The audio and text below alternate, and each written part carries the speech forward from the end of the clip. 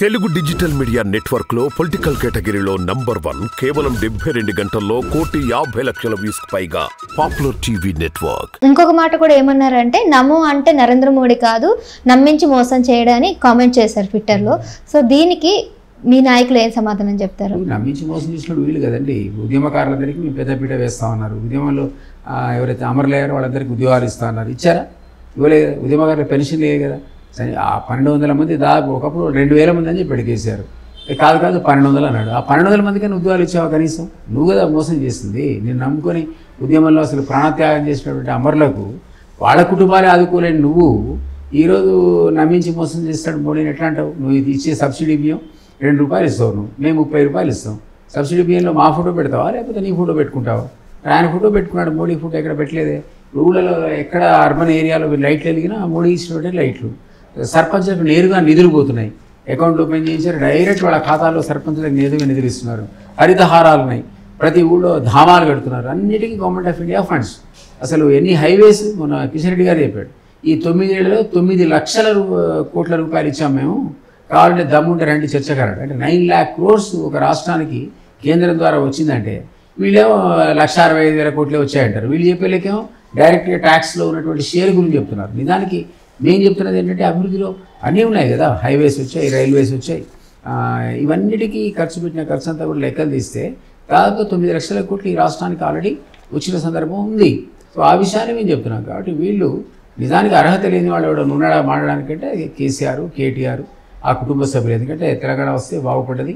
ఆ కుటుంబమే తప్ప వేరే పక్కడు ఎవడు బాగుపడలేదు ఓకే సార్. అయితే ఇకపోతే ఢిల్లీలో కేంద్ర హోంమంత్రి కిషన్ రెడ్డి అలాగే అమిత్ షా భేటీ అయ్యారు. సో వీరి భేటీ వెనుక కారణం ఏంటి? జాబితా కోసమా? అంటే బీజేపీ జాబితా చర్చనీయాంశం కోసమైనా వాళ్ళు కలిసారో లేకపోతే ఇంకేదైనా రహస్య భేటీ ఉందంటారా? ఏదైనా ఉండొచ్చు. భేటీ ఉంది మంత్రులు కలవడంలో ఆశ్చర్యం ఉంది. ఇద్దరు క్యాబినెట్ కలీగ్స్. ఇద్దరు కూడా క్యాబినెట్ మంత్రులు కదా. వాళ్ళు ఎన్నిసార్లు అంటే అన్నిసార్లు కలుస్తారు. రకరకాల విషయాలు మాట్లాడుకుంటారు. ఈయన ఇప్పుడు కొత్తగా పార్టీకి అధ్యక్షుడు ఉన్నాడు కాబట్టి ఈరోజు బీఆర్ఎస్ నూట పదిహేను మందిని ఏకపక్షంగా ప్రకటించింది. వాళ్ళకు ఒక కమిటీ లేదు ఆలోచన లేదు. ఆయన ఇష్టం వచ్చింది ఎవరికి కావాలంటే వాళ్ళకి సీట్ ఇచ్చేటట్టు పరిస్థితి అది. అంత నియంత్రణగా ఉంటుంది ఆయన ప్రవర్తన. బీజేపీ కానీ కాంగ్రెస్ కానీ ఆ రకంగా చేయలేవు కదా. వాళ్ళకి ఇక్కడ స్థానికంగా కమిటీ రికమెండ్ చేయాలి? సెంట్రల్ కమిటీ మళ్ళీ ఎగ్జామిన్ చేయాలి? ఫైనల్ చేయాలి? స్క్రీనింగ్ చేయాలి? సర్వేల మీద ఆధారపడాలి? ఇదంతా చేసే ఒక పద్ధతి ప్రకారం ఈ జా రెండు జాతీయ పార్టీల అభ్యర్థులు ప్రకటిస్తాయి కానీ ఏకపక్షంగా యూనిలాటర్గా ఓ నియంతలాగా రాత్రి కలుస్తే తెల్లారి కలిగి ఇదే లిస్ట్ అని చెప్పే పద్ధతి సాధ్యపడదు అది. అది ఆయనకే సాధ్యపడుతుంది ఆయనకే చెల్లు ఆ విధమైన ప్రవర్తన. ఓకే. అయితే అభ్యర్థుల ప్రకటన ఎప్పుడు చేసే అవకాశం ఉంది అట్లీస్ట్ అతి త్వరలో ఇప్పుడు మనకి ఎలక్షన్స్ మరి రెండు నెలలు మూడు నెలలకు మించి లేవు కదా. కాబట్టి నాకు తెలిసి ఇంకో పదిహేను రోజుల్లో ఫస్ట్ లిస్ట్ బీజేపీ వస్తుంది. అందులో ఆల్రెడీ ఒకే క్యాండిడేట్ ఉన్నటువంటి కాన్స్టిట్యున్సీస్ కూడా మా దగ్గర ఐడెంటిఫై చేశారు.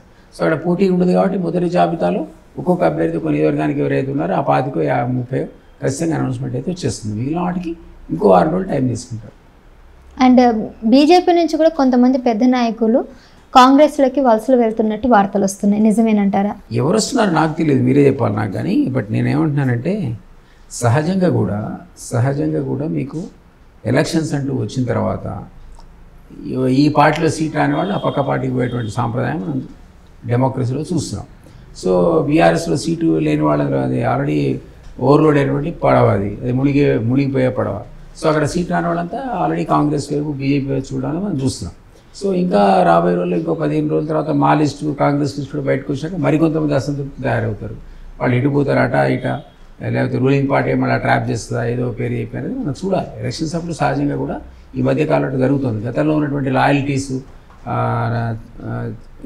దాని ఏమంటారు ఆ చిత్తశుద్ధి లేదు ప్రజలకి ఇప్పుడు క్యాండిడేట్స్ ఏమైనా పరమావధి ఏంటంటే సంపాదించుకోవటం సీటు తెచ్చుకోవటం తద్వారా గెలవటం గెలిస్తే సంపాదించుకోవటం. ఈ మోటో లేదప్ప సోషల్ సర్వీస్ చేసి ప్రజల కోసం ఉపయోగపడే పనులు చేద్దామని ఆలోచనటువంటి నాయకులు చాలా తక్కువైపోయారు. ఆ ఆ కారణం చేత మీరు చెప్పేటువంటి వలస పక్షులు ఎక్కువైపోయారు. ఈ వలస పక్షులు ఏ పూట ఎక్కడ వాళ్తాయో ఏ పార్టీకి పోతారో అంత ఈజీగా చెప్పడం. Okay sir. రీసెంట్గా హైదరాబాద్ విమోచన దినోత్సవం రోజు అమిత్ షా పర్యటించారు హైదరాబాద్కి. సో మళ్ళీ ఈ నెల పదో తారీఖున కూడా రాబోతున్నారు కదా. ఈ పర్యటన ఎలా ఉండబోతుంది?